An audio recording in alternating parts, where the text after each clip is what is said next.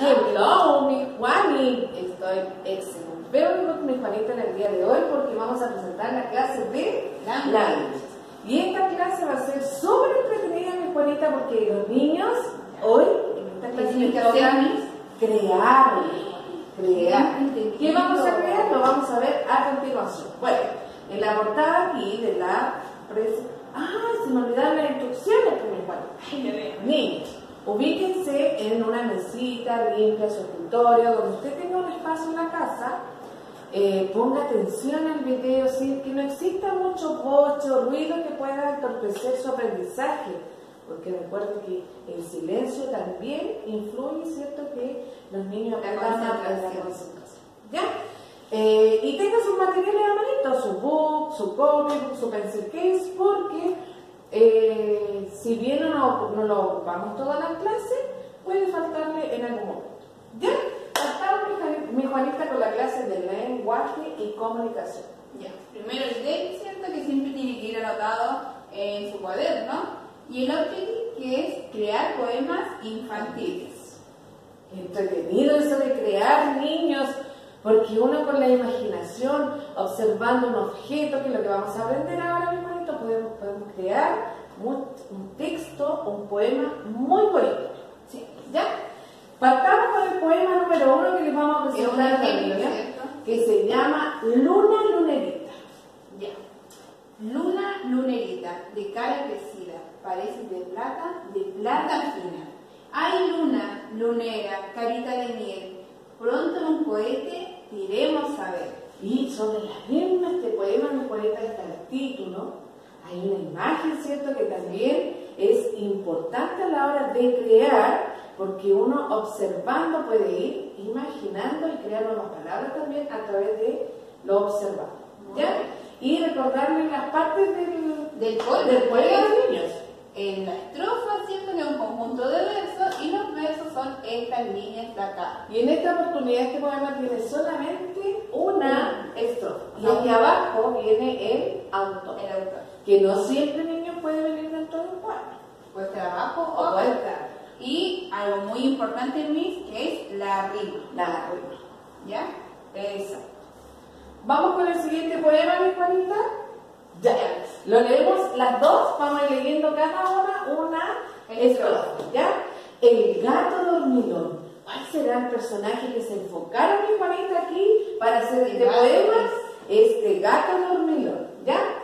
El gato Ruperto la casa revisa, porque un ratoncito ronca en la reprisa. Busca despacito en todos los rincones, en las alacenas y en los almohadones. Pero el gato dormilón se durmió en un rincón y ron, ron, ron, y ron, ron, ron, ronca y ronca don rato.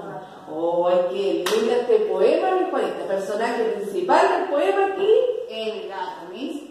El gato dormilón y, personaje secundario. ¿Cuántas? El título, mi Juanita.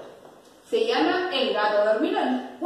Eh, ¿Cuántas estrofas tiene este, este poema? Una, dos, tres. ¿Y cuántos versos, mi Juanita? contemos los versos. 1, 2, 3, 4, 5, 6, 7, 8, 9, 10, 11, 12, 13, 14. Y hay algo aquí que no está el autor. Aquí, está solidita el autor. No lo había. Ok. ¿Pasamos al tercer poema, niños? Ya. ¡Ay, qué lindo este poema! Se llama Mariposa. ¿De qué trata el poema entonces? De una mariposa. El autor se enfocó en la belleza de la mariposa para crear este poema. Ya me cuento. Mariposa del aire, qué hermosa eres. Mariposa del aire, dorada y verde. Luz del candil, mariposa del aire. Quédate ahí, ahí, ahí. No te quieres parar, pararte no quieres. Mariposa del aire, dorada y verde. Luz de candil, mariposa del aire. Quédate ahí, ahí, ahí. Quédate ahí, Mariposa, ¿estás ahí? ¡Oh, qué lindo este poema! Mi Juanita, personaje principal para crear este poema fue la mariposa. El título, y este poema tiene una, dos estrofas. ¿Cierto? Sí. El autor es anónimo porque no aparece parece? Ya. Ahora, niños, vamos a pasar a la siguiente fase de este video, mi Este, Observar. Observemos la Silvia ahí va. Bauté, ¿cierto, mi Juanita? Con todos sus niños, ¿cierto? O usted también con todos. yo con todos los niños y siguiendo porque ahora vamos a observar. Todos. Y vamos a observar imágenes u objetos. ¿Ya? Aquí tenemos la primera, que es una Una bicicleta. Una bicicleta que tiene un color particular. Tiene un color rojo. Aquí tenemos niños una rica y sabrosa manzana que se ve que está como humedecida porque está súper fresquita. y este color. Rojo. Ay, qué linda, mi flor favorita. La flor favorita de la mi Juanita, un Girasol. Ay, Y qué aquí lindo. tenemos un pajarito, qué lindo, mi Un Juanita. pajarito pequeñito. Ya. Ah, y nos faltó este perro. Y hay muchos poemas de animales, mi Juanita. Muchos, muchos.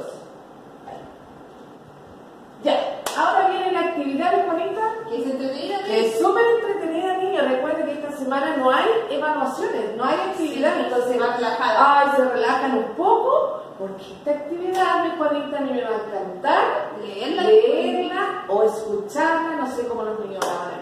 Ya, ya. Primero, debes elegir una de las imágenes anteriormente observadas. ¿Ya?